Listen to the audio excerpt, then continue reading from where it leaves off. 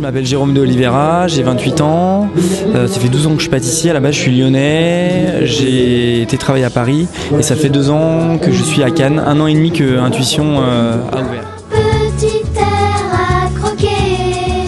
Pas boulimique non plus, j'aime bien déguster et goûter.